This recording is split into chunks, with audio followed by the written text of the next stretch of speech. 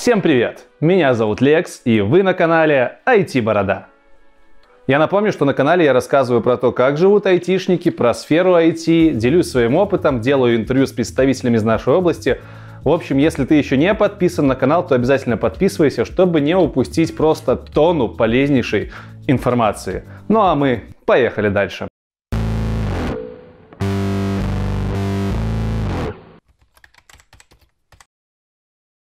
У меня очень много людей спрашивают, как начать, с чего начать, с чего заходить, как стать программистом, айтишником, кем угодно. То есть как войти туда, где работаем мы с вами, те, кто уже работает в IT, как войти в нашу сферу. И для того, чтобы не отвечать каждому персонально в комментариях, я решил запилить этот видосик.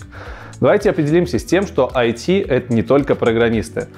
Как ни странно, но в IT есть еще и тестировщики, есть бизнес-аналитики, есть технические писатели, есть дизайнеры, UX, UI специалисты, есть э, sales-менеджеры, есть PR-менеджеры, есть менеджеры по продажам, есть пиар внутренний и внешний. Это все очень сильно отличается. Это все абсолютно разные направления. Конечно же, здесь есть и программисты, здесь есть и тестировщики, про которых все уже точно слышали. Есть куча разных менеджеров. Это менеджер э, по поиску персонала, это офис-менеджер, это менеджер проектный, это менеджер командный это ресурсный менеджер. В общем, в IT очень много разных профессий, не только связанных с программированием.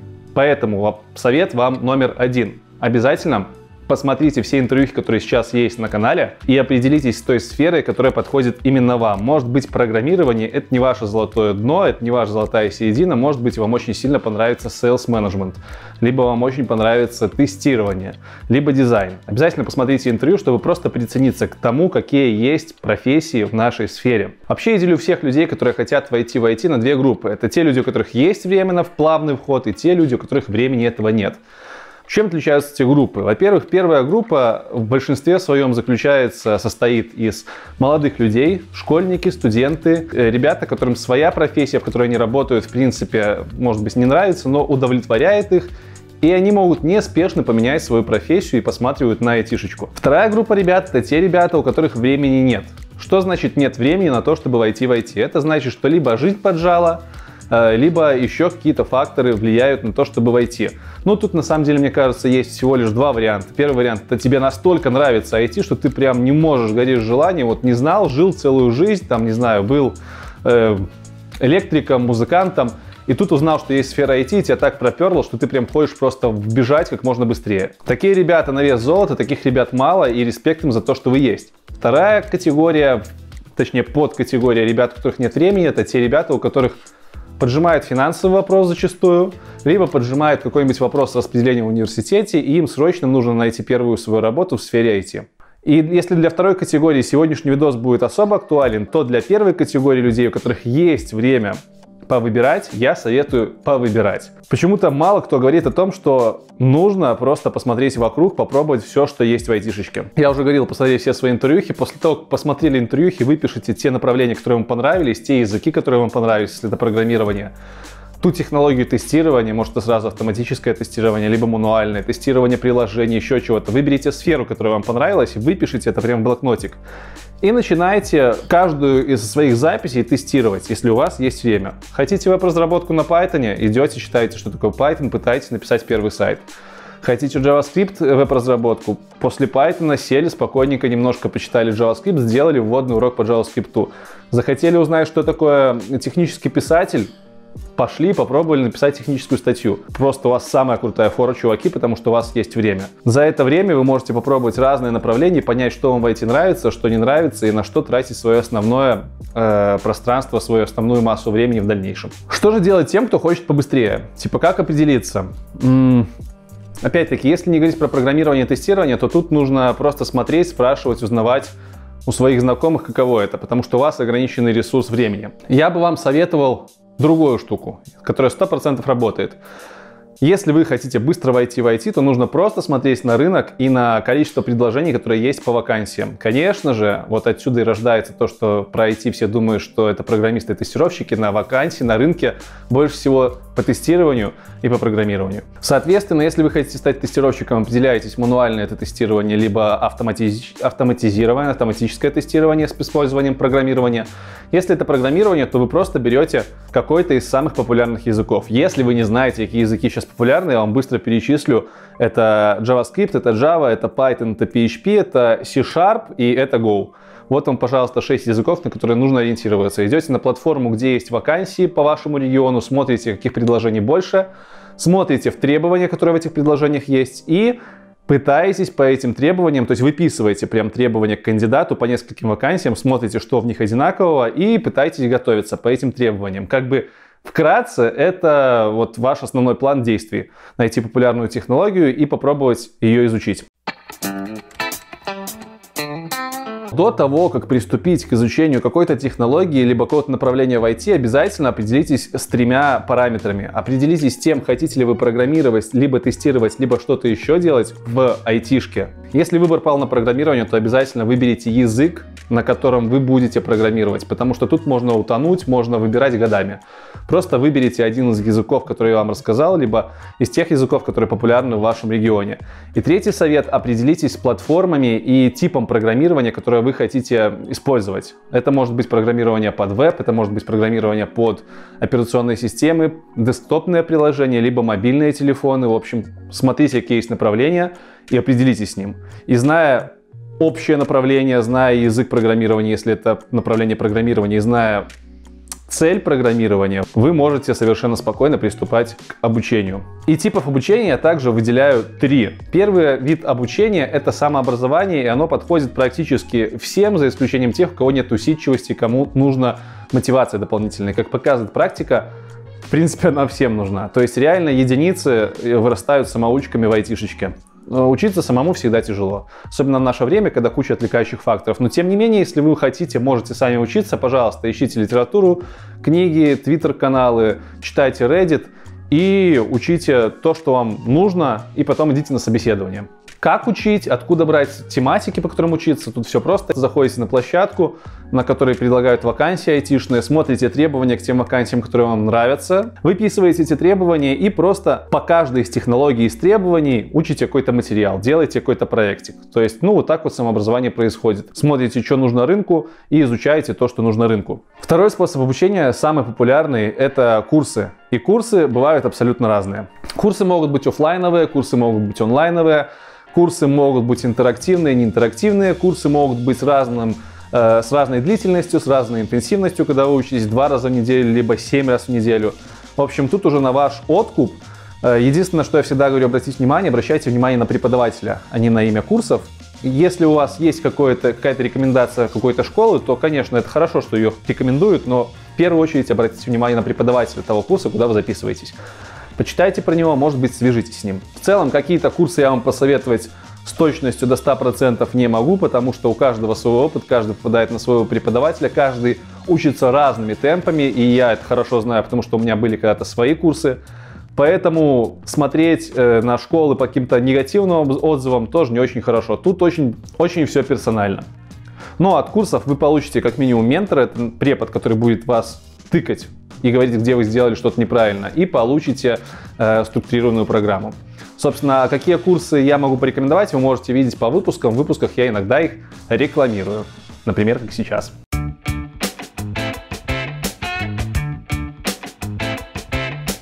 В этом выпуске я уже много чего рассказал про то, как важны курсы при процессе вхождения в IT и в процессе самообразования. И как бы вопрос, какие курсы выбрать. Курсов разных много очень, поэтому я бы ориентировался на преподавателя, а если это онлайн-курсы, то тоже стоит ориентироваться на то, как давно на рынке находится бренд. Бренд тех курсов, на которые вы хотите пойти. И в данном случае, даже когда я делал свою школу, мы равнялись на одних ребят, которых вы наверняка знаете. Это онлайн-школа образования HTML Академия. Это, пожалуй, одна из самых старинных школ, онлайн-школ образования. У ребят есть не только курсы, у ребят есть работа, на которую можно трудоустроиться после того, как вы отучились. У ребят, в принципе, наверное, самые проработанные программы, опять-таки, поскольку они на рынке существуют очень-очень давно. В настоящее время HTML Академия предлагает два типа образования. Это интерактивные курсы и это профессиональные курсы. Давайте теперь немножко поговорим подробнее о каждом из видов курсов. Интерактивные курсы HTML Академии подходят для новичков и не требуют специальных знаний для освоения технологий. Обучение происходит в игровой форме. Пользователь получает теорию, на практике ее закрепляет и сразу же видит результат. Программа от простого к сложному не заставляет думать, с чего нужно начать, откуда брать свои знания, потому что уже все давным-давно продумано за вас. На платформе доступно всего 1414 интерактивных заданий и треть из них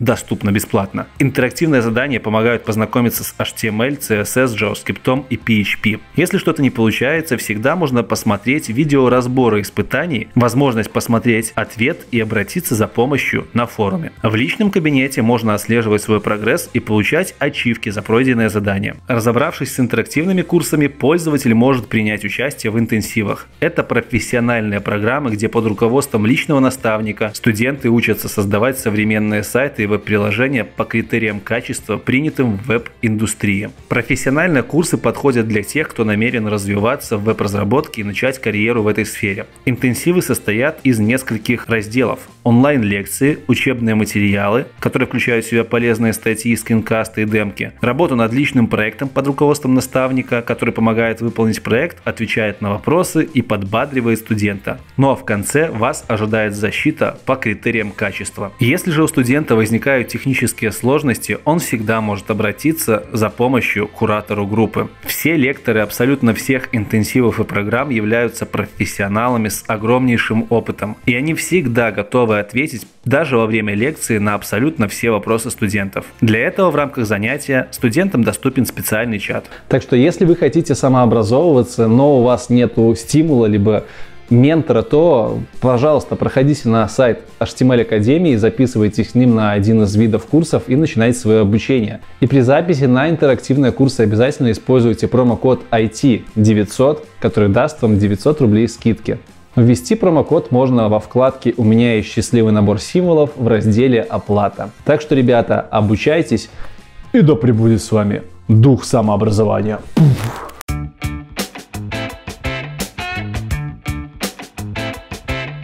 Ну и третий способ образования, обучения в IT, не только в IT, это через университеты, это касается только студентов, но лично мое мнение, что университеты дают очень много лишней информации в наше время, и все-таки 4-5 лет учиться на программиста, ну это, наверное, много.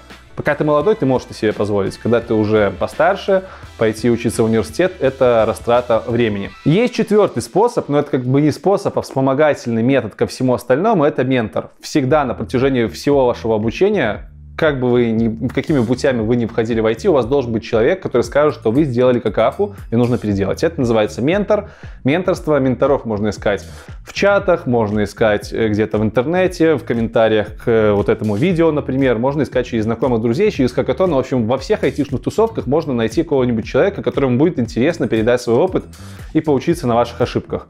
Поэтому ментор must have, он должен быть в вашем образовании. Поначалу его Обязанности могут закрывать преподы на курсах, но это не самое лучшее решение. Теперь окунемся глубже уже именно в направление программирования, поскольку я программист. То есть все люди, которые выбрали к себе не программирование, либо интересуются не программированием в IT, дальше вам, скорее всего, будет не особо интересно. И вот что не мешало бы знать тем, кто захочет стать программистом, либо тестировщиком, либо техническим специалистом в будущем. Вам нужно знать устройство компьютера и то, как им пользоваться. Как ни странно, даже к нам на курсы тестирования приходили люди, которые вообще не в ППР извините за выражение. Они не знали, как не то чтобы переустановить Windows, но это, в принципе, знать особо не нужно. Они не знали, как запустить диспетчер задач. Это базовые навыки пользования компьютером, и вы должны ими владеть. Про то, как устроен комп внутри, как бы особо знать, наверное, не, не нужно, не стоит, только если вы не хотите программировать э, микроконтроллеры. Для обычного разработчика либо мобильщика достаточно знать, что есть оперативная память, жесткий диск и процессор, и минимально о том, как они взаимодействуют, но это совсем на базовом уровне. Второе, что необходимо знать, это математику, и это очень холиварный вопрос. Я не говорю, что нужно знать какую-то универовскую математику, которую дают только в технических вузах. Нужно знать базовую математику школьную, что такое сложение, умножение, вычитание, деление, и будет вообще отлично, если вы знаете, что такое возведение в степень и деление целочисленное по модулю, чтобы узнать остаток отделения. Это все, чего вам пригодится в 95 процентах случаев из математики. Я ничего не понял, спасибо. И третье, что не мешало бы знать, в принципе, это можно не знать, но это было бы большим плюсом как для вас, так и для работодателя, это знать основы компьютер-сайенс. Это основы того, как работают компьютеры, опять-таки, уже чуть глубже, основы того, как работать с данными, основы алгоритмов, ну, компьютерная наука, основы сетей. То есть какие-то вещи такие достаточно базовые для любого программиста, э, как, скажем, алфавит для человека, который умеет читать, которые нужно просто знать, либо в них ориентироваться. Тут есть тонны книг, прям сложных и не очень. Я рекомендую для ознакомления просто посмотреть курс CS50 от Гарварда, и его, в принципе, будет достаточно. Первые 10 лекций, они есть на русском языке, есть на английском. Можете глянуть, разобраться в том, о чем там говорят. Если вы будете понимать, о чем там говорят, то этого будет достаточно для первого времени. Сема. Что еще не мешало бы знать совместно со знаниями техническими?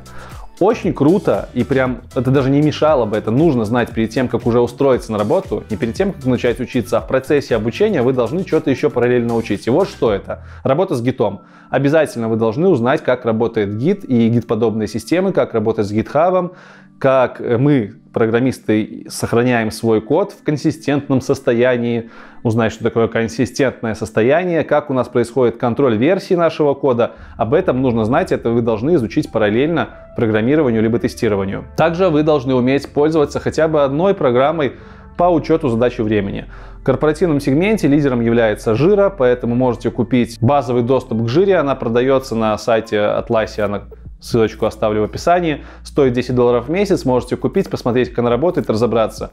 Либо посмотреть видосики, просто чтобы понимать, как вам будут выдавать задачи и как вы будете трекать, мониторить, э, куда вы будете вписывать время, затраченное на задачи. Также вы должны обладать навыками того, как работают команды и уметь работать в команде. Эти навыки называются, нет, это в принципе все навыки, наверное, которые я сейчас называю, это отчасти навыки soft skills, популярный термин, у меня есть даже видос про это.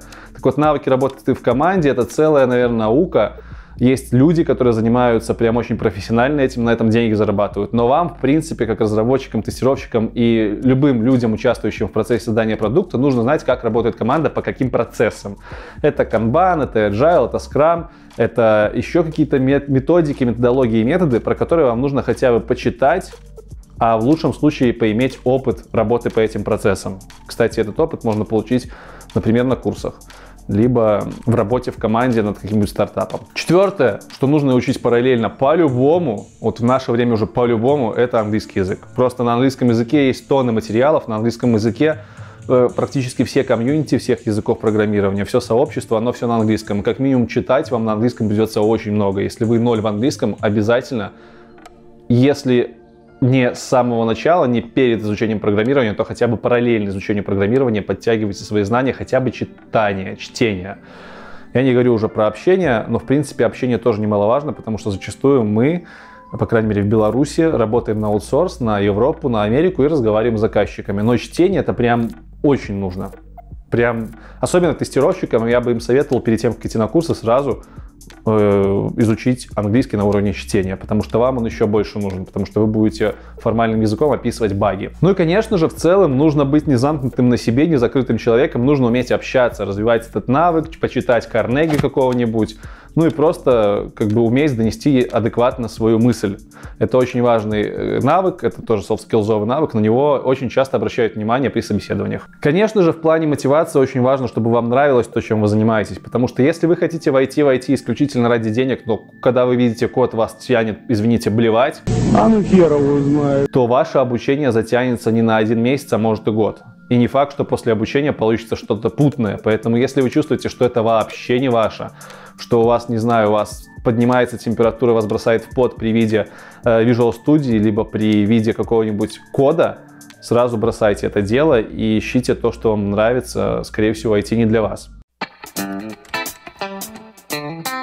И в конце несколько ответов на самые часто задаваемые вопросы в комментариях, либо э, вопросы, которые мне пишут там в телеграмах и инстаграмах и еще где-то. Нужно ли знать фронтенд разработчику CSS и HTML? Нужно, причем любому. Я считаю, что даже бэкенд разработчику нужно знать HTML и CSS, потому что рано или поздно может оказаться так, что у вас не будет фронтенд разработчика не будет, либо он заболеет, и бэкэндеру скажут, ну ты что, не бэкэндер, ну иди этот HTML поправь, а ты не знаешь, как с этим работать. Ну стыд позор. Не знаете HTML и CSS в наше время, если ты работаешь с вебом, либо с мобилками, это, да, даже с мобилками, это, не знаю, это как не знать таблицы умножения, типа, и считать на калькуляторе. Ну, come on.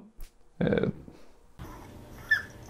нужно ли знать Node.js фронтенд разработчику? Я считаю, что нужно. Я не фронтенд разработчик, я больше бэкенд.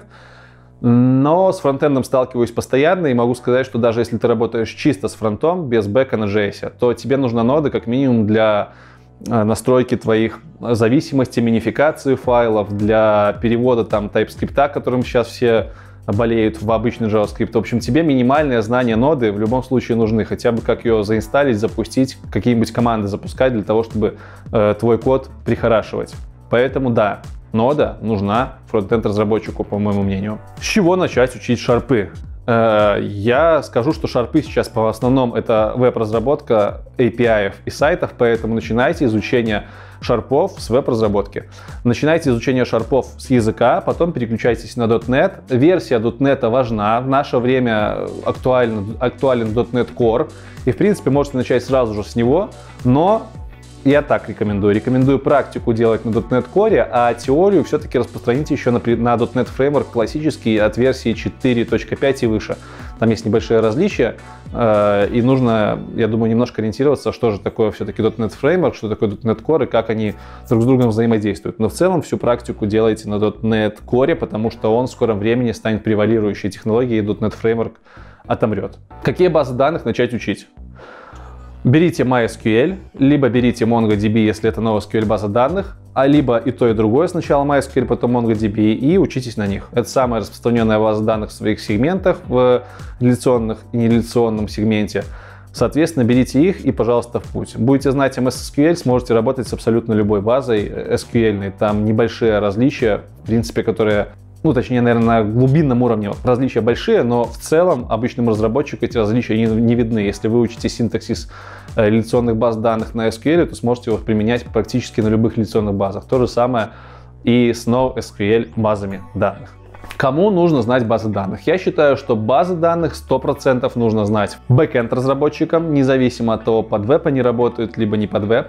Нужно знать мобильным разработчикам и, естественно, базы данных нужно знать ребятам, которые программируют какие-нибудь холодильники, микроволновки, потому что там тоже где-то данные нужно хранить. Что по поводу фронтенд разработчиков, то им как бы в практике базы данных особо не пригождаются, но для того, чтобы пройти собес для общего развития, я бы им тоже рекомендовал изучить, как работают базы данных хотя бы базовый синтаксис SQL. Тестировщикам базы данных нужны. Прямо они должны уметь делать запросы. Я не говорю, что они должны уметь из языка программирования написать какой-то запрос, хотя бы просто установить программу, через которую можно работать с MySQL и сделать запрос. Причем не просто select. Нужно нормально уметь делать запросы. Джойны, операции над группами. Вот это вот нужно прям тестировщикам, потому что вам это очень сильно облегчит жизнь. Нужна ли математика универовского уровня программистам? В 95% случаев, как я говорил, не нужна. Если ты обычный мобильщик, либо обычный веб-разработчик, который сделает повседневные задачи, а у нас этой рутины очень много, то тебе математика, кроме как деление по модулю остаток отделения не нужна будет. Если же ты хочешь заняться machine learning ом, бигдатой, либо каким-нибудь созданием новых библиотек скоростных, которые должны работать быстро, оценивать их сложность, тут тебе уже нужна будет математика, универовского уровня, потому что в школе такое не преподают. Но, как бы, come on, таких специалистов очень мало из всей массы программистов, и эти знания всегда можно подтянуть на каких-нибудь курсах. Поэтому не бойтесь, прям универовская математика в 95% случаев, по моему мнению, не нужна. Войти можно и без нее. Дальше самый популярный вопрос, э, нужен ли программисту английский язык? Нужен. Все, просто без оснований. Он нужен. Нужно ли знать компьютер сайенс и все, что касается алгоритмов, сетей и структур данных программисту на начале? Как я и говорил немного ранее, это будет большим плюсом, если вы будете в компьютер сайенс разбираться очень классно. Но в целом, для того, чтобы начать программировать в наше время, прям быть спецом в этом не нужно. Но процессе разработки, там через 3-4 года вы сами органично придете к тому, что эти знания к вам придут. Вы будете почитывать что-то по сетям, будете почитывать что-то по устройству компа, и в конце концов компьютер сайенс вселится в вас. Но на начале нет такого требования, что прям нужно знать универскую программу работы сетей и модель оси. Нет. Последний вопрос, как пройти собес, часто мне задают, почему-то не знаю почему. А, а почему я удивляюсь? Потому что у меня есть целый видос, как пройти собес, поэтому сначала смотрите этот видос, Дальше ходите по собесам один раз, два раза, три раза. можете даже 30 раз на собесы сходить, это нормально. Тут главное не останавливаться, главное все время продолжать и главное делать выводы с предыдущих собесов, почему вас не взяли, брать фидбэк, подтягивать ваши слабые стороны. Многие просто ждут долбанной мотивации. В принципе, это все, что я хотел сегодня рассказать про то, как войти в IT. Так что спасибо вам за то, что посмотрели этот ролик. Ставьте ваши будущие либо настоящие айтишные лайки. Подписывайтесь на Telegram, подписывайтесь на Instagram, заходите в Discord сервер, нас там очень много и вам там могут помочь. Обязательно делитесь этим видосом с вашими друзьями. Ну а с вами был Лекс IT Борода. Спасибо и до новых встреч. Покедова!